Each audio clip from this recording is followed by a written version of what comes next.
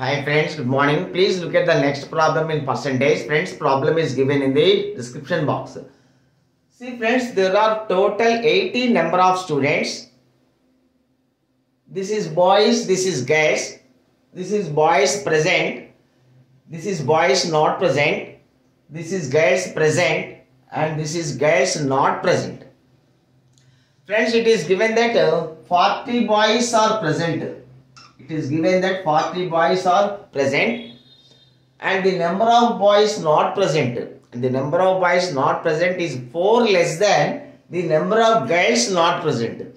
Friends, say the number of girls not present x, then the number of boys not present will be x minus 4.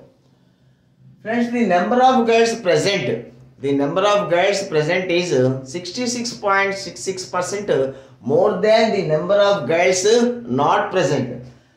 Friends, 66.66% means uh, its fractional value 2 by 3. 2 by 3 more means uh, 1 plus 2 by 3. 1 plus 2 by 3 means uh, 5 by 3. So the number of girls present is 5x by 3. 5x by 3.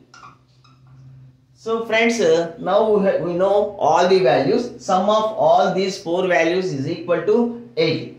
See 40 plus x minus 4 plus 5x by 3 plus x is equal to 80. 340 is 120 plus 3x minus 12 plus 5x plus 3x is equal to 240. 380 is 240. Friends, 3x plus 5x, 8x, 8x plus 3x, 11x. 11x is equal to 240 minus 120. 120, 120 plus 12, 132. Friends, 11x is equal to 132 implies x is equal to 12.